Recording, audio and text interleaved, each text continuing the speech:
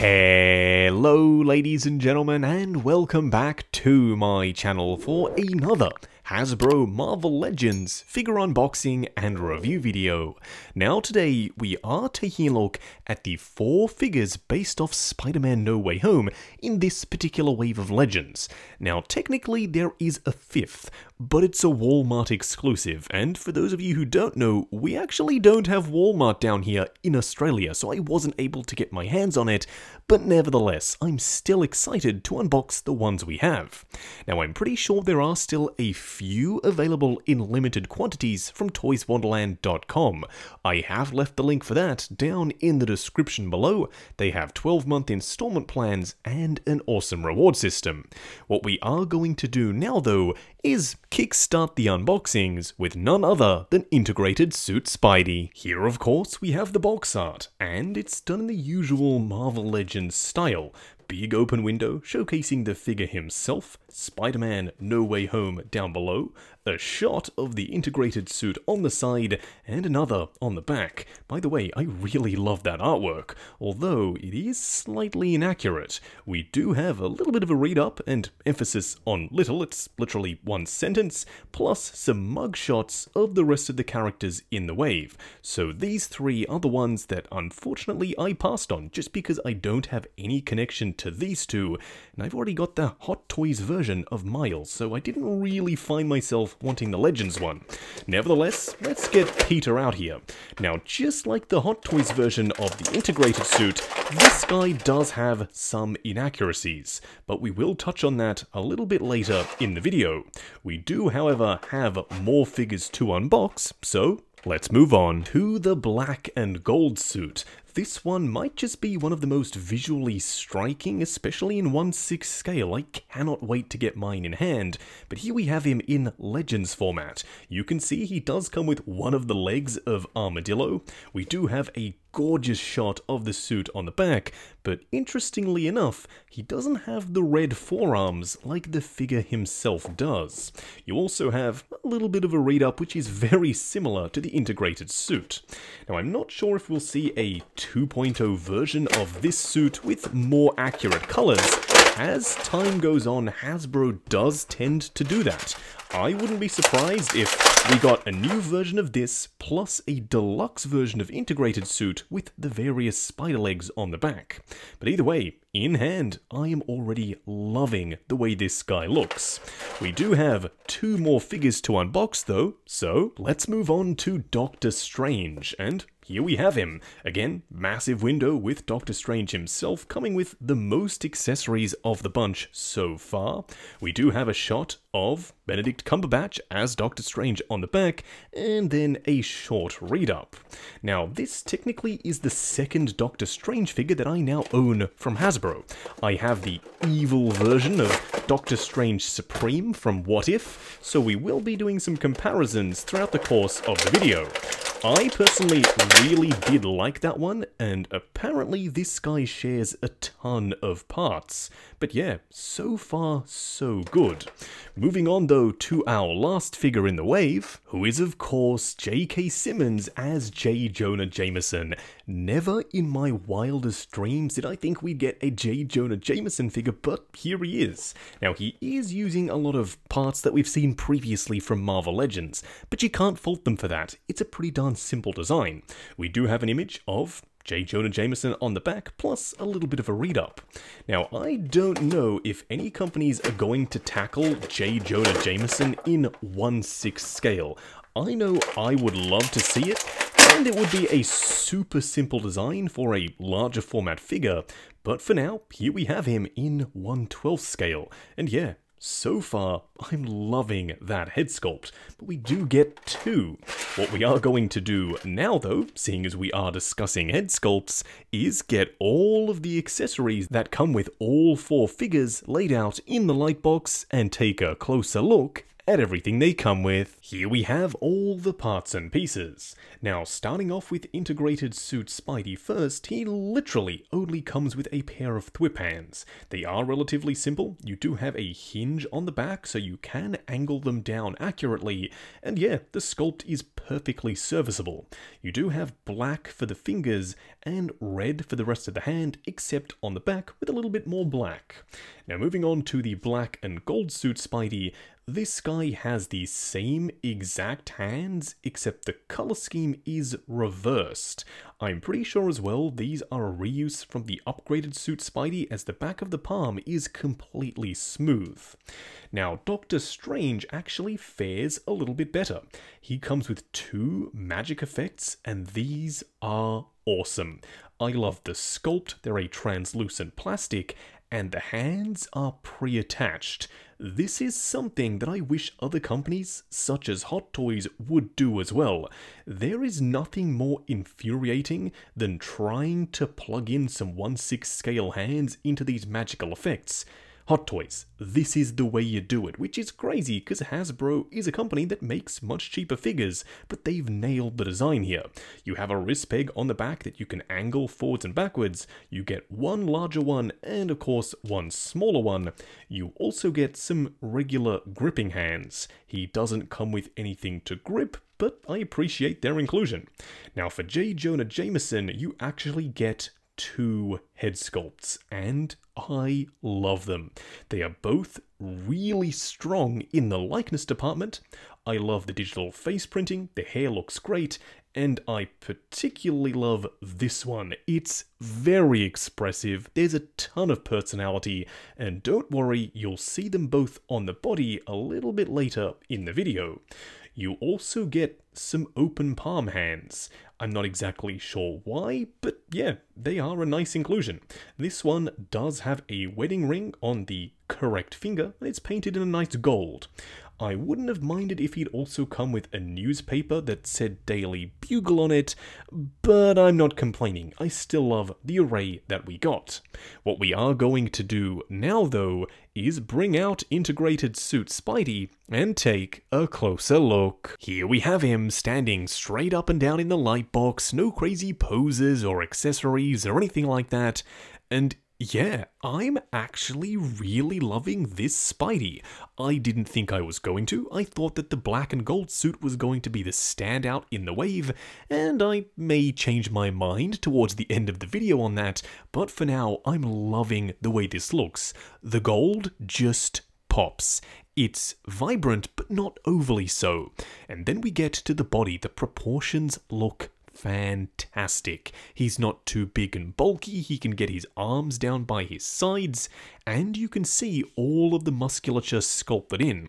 The sculpt is also very crisp. Moving on to the black and gold suit, the same thing can be said for him. The sculpt is very impressive.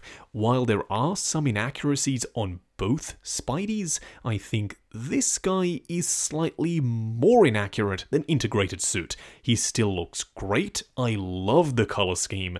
For those of you who don't know, Black Suit Spidey is my jam, so this is kinda right in my wheelhouse, plus the gold is a very nice accent. Moving on to Doctor Strange, I love the way this guy looks as well.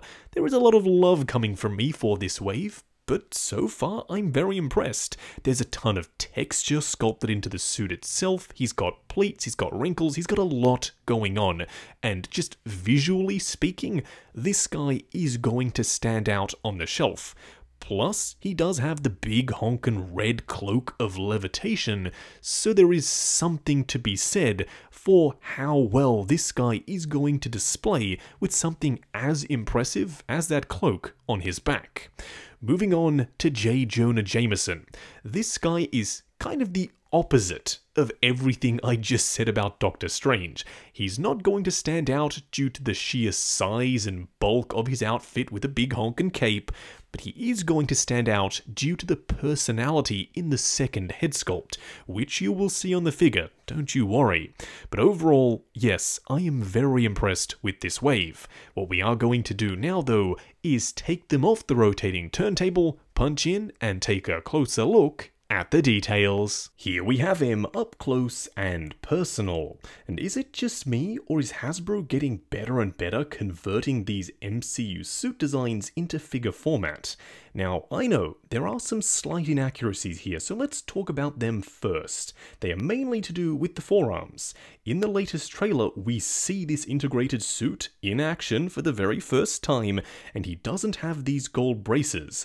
The hands are also the reverse color scheme. The fingers are red rather than being black. So if you wanted to, you could take the hands from the black and gold suit and swap them out, therefore the hands would be slightly more accurate, and you can actually remove the gold braces.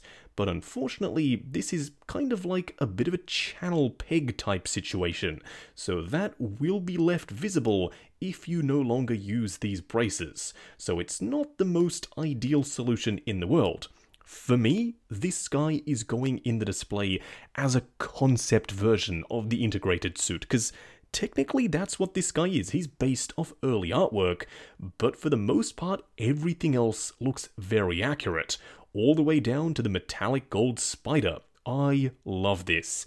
Yes, it's gaudy, yes, it's a bit of bling, but it does integrate the Iron Spider suit and the upgraded suit very nicely, and I'm pretty sure that's exactly what this suit does in the movie. Now, the head sculpt is a little bit thin, but to be honest, I kind of like the way it looks. It is slightly stylized, but it's very clearly Spidey.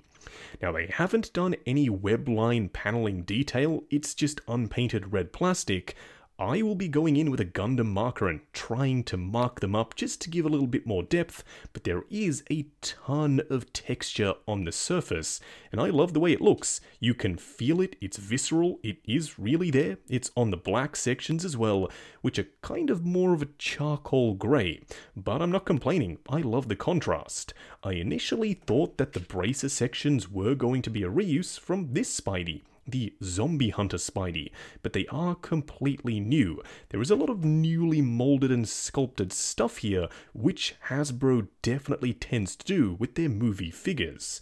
But so far, yeah, I'm really loving integrated suit Spidey. Next up, here we have the black and gold suit Spidey, and yeah, I am loving the way this suit looks, both in the film and here in figure format. There's one thing in particular that I'm really drawn to, and it's the fact that you can have his arms flat down by his sides. Bringing in this guy once again, you can see his arms kind of flare out. Due to the sculpted nature of the torso, you can't bring them any closer to the body, whereas this guy looks a lot more natural. Now yes, there are these massive cutouts in the back for the butterfly joints, and they look a little bit funky from the front when you do use them, but I would rather them be there and allow you to get him looking way more proportionate just standing there than not. They've also gone in with some gold paint on all of the web lines. Now, it's not the cleanest thing in the world. You can see that they kind of go out of the channels in a few different areas, but for the most part, it looks great. It looks exactly how it should. Now, there is that added tech detail sculpted in very, very softly it's faint, but it is there. Now, in other versions of this suit in figure format that has been painted kind of with a grey wash over the top, I would have loved to have seen it, but at the very least, the texture is there, so when the light hits it, yeah, it picks it up a treat. Now, there is once again an inaccuracy here. These were supposed to be red, but then for some reason either Sony or Marvel decided to change it so it's just black and gold like the rest of the suit. So this was done based off the concept art and they remained red. I kind of like the pop of color on the forearms, even though it's not accurate, but still, it is out before the movie, and you'll know I love having my merch before the film actually drops. Coming down to the legs, you do have the black and gold once again, plus a little bit of sculpted in detail, which is rather messy up on the top of his boots here. Overall though, yeah, black and gold suit Spidey might just be one of my new favourites. Moving on to Doctor Strange. Now, this is my first MCU Doctor Strange in the collection, and I didn't really know what to expect. I certainly wasn't expecting a head sculpt as good as this one is. That is very clearly Benedict Cumberbatch as Doctor Strange in 112 scale. I love the face printing, specifically with the eyes, the goatee looks great, and the hair is a separate attachment, so there is a little bit of depth around the hairline, plus the little fringe comes over the top. I love the way it looks. It's absolutely him. Now, he is currently wearing the Cloak of Levitation, but you can remove it. It literally pegs in to his back. There is a ton of texture sculpted on the inside, and then you have the accurate detail on the outside. I wouldn't have minded some darker red washes down in the crevices, but I still like the way it looks and the way it fits on the body. Now unfortunately it does kind of ride a little bit high. I wouldn't have minded if there was another way to secure it, I don't know, maybe some pegs around the front, then again you couldn't really display him without it if they had done that. Now you do have the Eye of Agamotto, as you can see I'm kind of fighting with it because it does get in the way of the cape itself. It is removable, there is some detail sculpted in, but unfortunately it is closed. You can't see the time stone on the inside, but it is painted and sculpted rather nicely. So too is the rest of the body. It looks great. There is a ton of texture on the surface, there are wrinkles and creases and pleats and various pieces of material going over other pieces, the belt is a separate piece, and it's multi-layered in the sculpt as well. You have the sling ring permanently sculpted to his belt, and there are certain buckles picked out in some silver plastic. I love the way this looks. I don't know if I've said that already, but I'll probably say it a few more times. This is a very impressive sculpt. Then coming down to the legs, there are some baggy pants underneath, and then you do have some very Doctor Strange looking boots. You've got multiple different buckles, you do have some crinkling and wrinkling. It looks awesome. So yeah, this guy might just be one of my favourites in the wave. Lastly, here we have J. Jonah Jameson. Now let's talk about the suit itself first because it is rather simple. There's not a lot to discuss. Then we'll talk about the magnificent head sculpts. Now the suit I'm fairly sure we have seen before. This time it's done in a navy blue, he's got his top button done up, this top piece is a rubbery overlay and then the arms are pegged in separately to the body.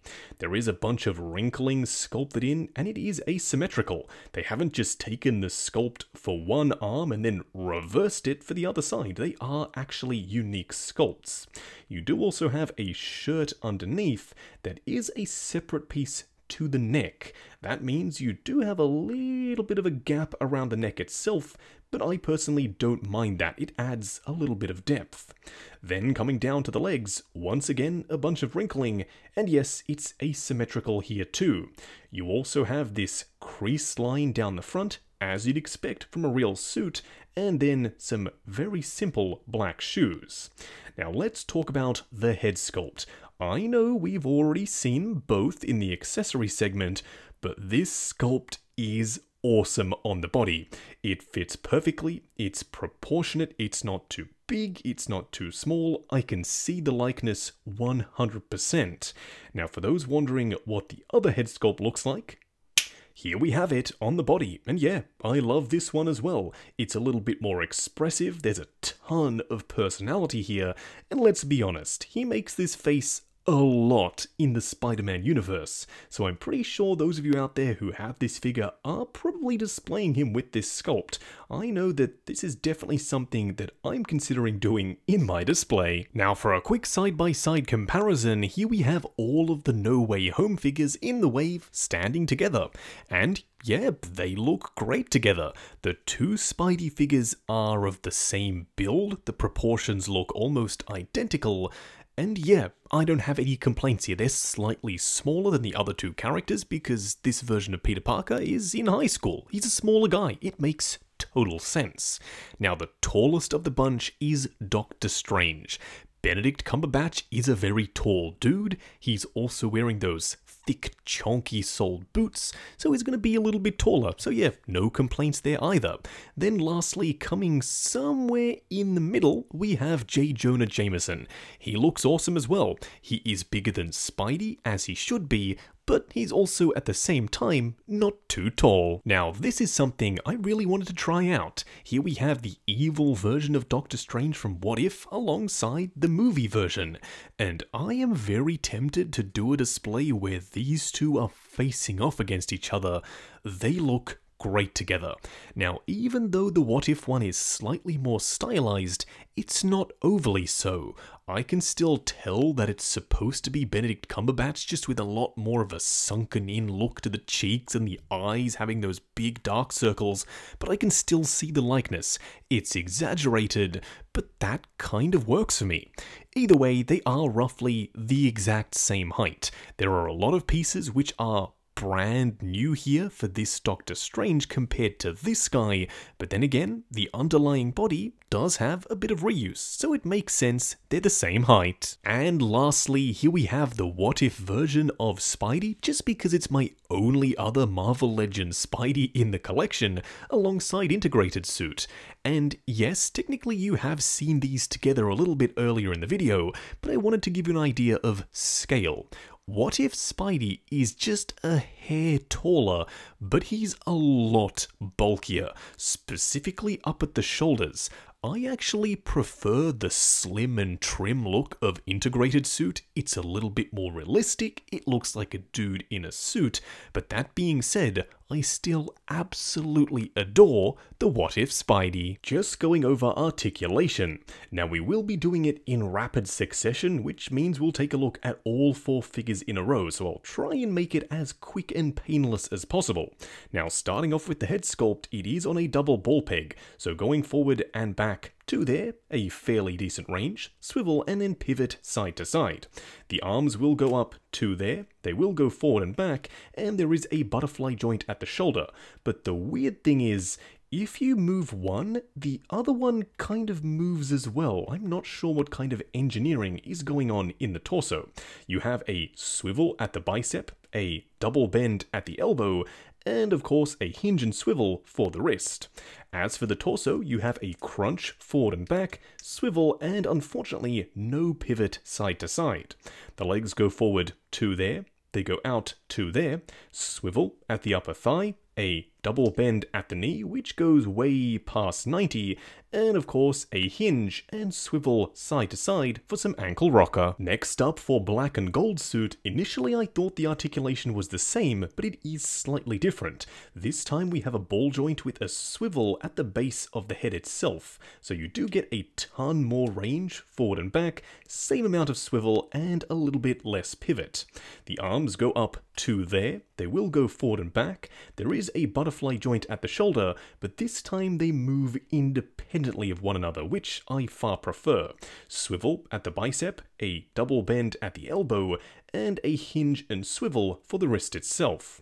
Torso can crunch forward and back, and you do get that same swivel.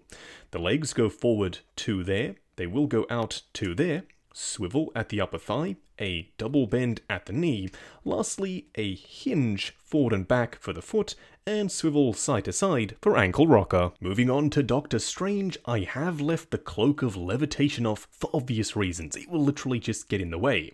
Now starting off with the head sculpt, it is on a double ball peg just like integrated suit Spidey. Forward and back to there, swivel and then pivot side to side. The arms go up to there, they will go forward and back, but due to the V taper of the torso, they kind of go slightly outwards when you bring them forward. There is a little tiny amount of butterfly up here at the shoulder, swivel at the bicep, a double bend at the elbow, plus a hinge and swivel for the wrist itself. The torso is on a ball joint, so you get some crunch forward and back, swivel and pivot side to side. Due to the thick, rubbery nature of the robes, the legs kinda struggle to get forward more than that. They will go out to there, swivel at the upper thigh, a double bend at the knee, but once again, this stuff does get in the way. You have a swivel at the top of the boot, plus a hinge forward and back, and swivel side to side for ankle rocker. Lastly, for J. Jonah Jameson, if you are familiar with the Marvel Legends suited body, this will be almost identical to the other figures that have used this body before him. Now, starting off with the head, you do have a ball joint, plus you can see that swivel forward and back, so you do get a fairly decent range of motion, swivel, and then pivot side to side. The arms themselves will go up to here, they are rather stiff on mine. They will go forward and back, swivel at the bicep, a double bend at the elbow, plus hinge and swivel for the wrist. The torso does have a ball joint, but you don't get a ton of range due to the fully sculpted rubbery nature of the jacket up top. You do, however, have a swivel down below and a teeny amount of pivot. The legs have a similar issue to Doctor Strange. They bump into the jacket, going forward to there. They will go out to there, swivel at the upper thigh, a double bend at the knee, plus that very same hinge and swivel style joint for the foot itself. Just wrapping up on the Marvel Legends Spider-Man No Way Home figures. Now for a wave of figures released prior to the movie, this needs to build some hype. Does it do that for me? Yeah, absolutely. I cannot wait to see the film, and these figures have gotten me even more excited. Starting off with the integrated suit first, I love the design. Now, I understand it's not for everyone, it's got a little bit too much bling for some people, and I totally get it. But for me, the charcoal, the red, and then the big gold spider logo on the chest, it looks awesome. And it's very toyetic. It translates perfectly to a Marvel Legends release. I can't wait to see what other companies do with this design, and I wouldn't be surprised if we see a 2.0 version of this guy from Hasbro sometime down the line, with potentially an unmasked head sculpt, some interchangeable arms to peg into his back, but for now, this is a relatively simple stripped back version of the suit, and I'm all for it. Moving on to the black and gold suit, the most inaccurate figure in this wave, but that doesn't really phase me. I know it's crazy to say, but it's a relatively inexpensive release. As I said just a second ago, this wave is out before the film itself, so the designs are based on concept art, there are going to be some discrepancies. And obviously I'm talking about the red on the forearms. It's not ideal, I would have liked this to have been 100% accurate, maybe delay the figure to make it slightly more accurate to the movie, but I understand why they didn't. They wanted to get this guy out there.